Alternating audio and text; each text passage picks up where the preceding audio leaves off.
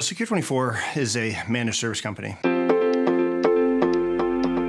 Our goal is to uh, work with our customers to deliver services so that they can focus on running their businesses. When we were looking for a platform to run Oracle applications on, we looked at many different vendors.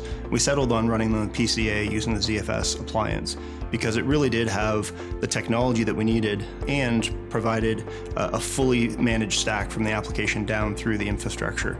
So one of the, the key pieces that was important, especially for me from an application owner perspective, was the encryption. With the uh, ZFS storage appliance, everything's encrypted at rest.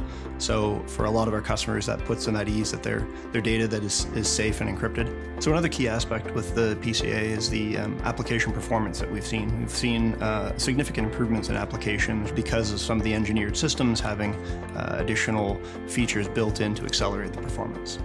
So one of the other advantages that we found with the ZFS and, and PCA and the co-engineering is our Oracle database team has been able to leverage things like the uh, direct NFS and the uh, performance improvements and manageability of growing the file systems on the storage platform without having to manage it all at the database level.